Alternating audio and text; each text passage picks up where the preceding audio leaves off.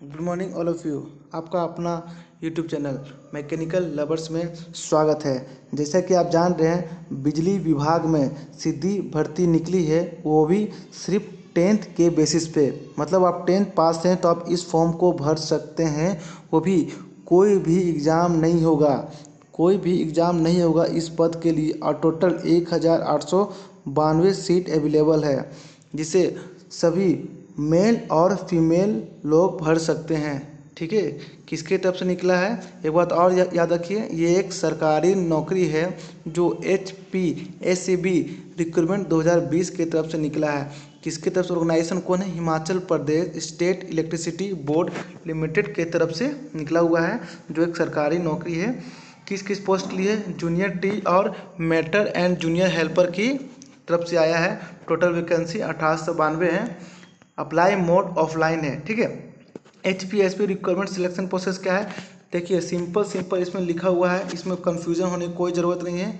Requirement किसके basis पे हो रहा है?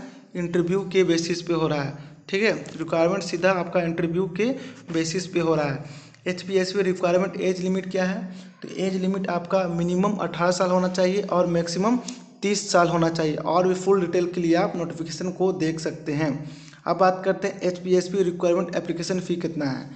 जो जनरल और ओ बी सी कैटेगरी है, उनके लिए सौ रुपये रखा गया है और जो एस टी एस सी है, उनके लिए पचास रुपये रखा है।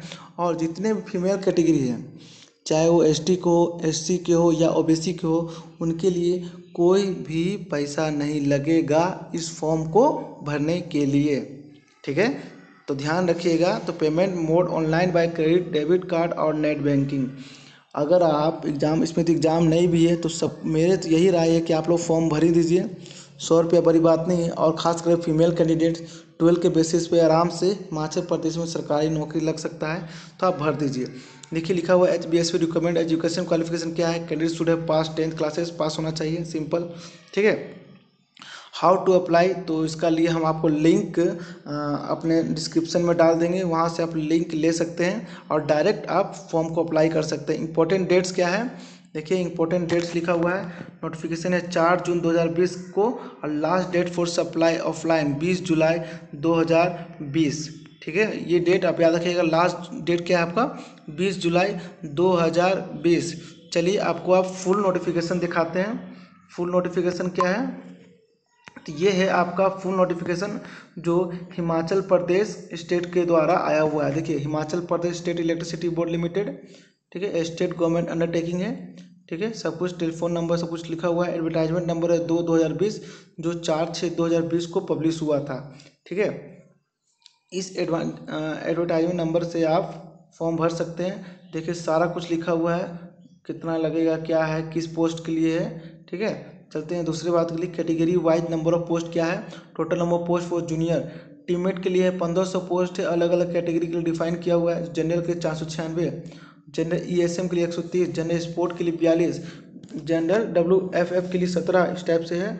Total category number of post कितना है? Total number of post for junior है जूनियर हेल्पर के लिए सब स्टेशन कितना है? थ्री नाइन्टी टू है थ्री नाइन्टी टू ये नोटिफिकेशन आप फुल डिटेल में चेक कर सकते हैं. एजुकेशन अदर क्वालिफिकेशन है मैट्रिक पास ये सबको बताएँ। और भी अगर आपके पास आईटीआई सर्टिफिकेट है तो इसका मार्क्स कुछ एक्स्ट्रा जो जुड़ाएगा। ये बात याद रखिएगा। जैसे आपको हम वेटेज दिखा देते हैं, देखिए यहाँ वेटेज बताया गया है कि अगर आपका टेंथ पास है तो उसमें उससे आपका सिक्सटी परसेंट मार्क्स को कंपेयर किया जाएगा। आईटीआई का सर्टिफिकेट है तो उसमें ट्वेंटी फाइव मार्क्स और ऐड किया जाएगा। ठीक है? अगर आप बहुत सारा कैटेगरिया रखा है, जैसे पंद्रह मार्क्स के लिए डिटेल के ट्यूब ठीक है? इस टाइप का क्राइटेरिया को फिल करते हैं तो पंद्रह मार्क्स और भी ऐड हो सकते हैं, जैसे नोटिफाई बैकवर्ड एरिया हो लैंडलेस फैमिली हो नॉन एम्प्लॉयमेंट हो तो इस टाइप में एक मार्क्स दो मार्क्स दो पॉइंट पाँच मार्क्स एक मार्क्स ऐड किया गया है। इसके बेसिस पे ही आपको सौ मार्क्स में मार्क्स को प्रोवाइड किया जाएगा। देख सकते हैं, सौ मार्क्स में आपको प्रोवाइड किया जाएगा, ठीक है? तो एप्लीकेशन फॉर्म आप W W dot H P P dot in के थ्रू आप एप्लीकेशन को भर सकते हैं, नहीं तो हम लिंक प्रोवाइड है, उस लिंक के थ्रू आप जा सकते हैं, ठीक है? चलिए तो ये आपके पास एक सुनहरा मौका है, आप फुल नोटिफिकेशन में नीचे जाकर देख सकते हैं।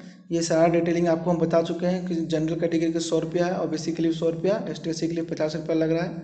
ठीक है? तो इस फॉर्म को आप भरिए, बिना कोई फ़ी कोई एग्ज़ाम नहीं हो रहा है, बस आपका सौ रुपया लग रहा है, आप अप्लाई कर दीजिए। अगर आपके पास टेंथ के और अगर आई टी आई का सर्टिफिकेट तो और भी बढ़िया है, ठीक है? चलिए, धन्यवाद।